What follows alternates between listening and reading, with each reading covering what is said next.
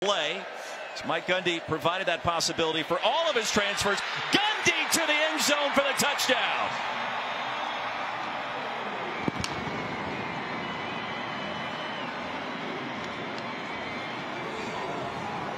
What a moment for the son of the head coach in his last game as a Cowboy. We've talked about the fact that they settled on a quarterback. It ends up being a quarterback counter with a lead blocker and Ollie Gordon. Ollie Gordon's just looking for work because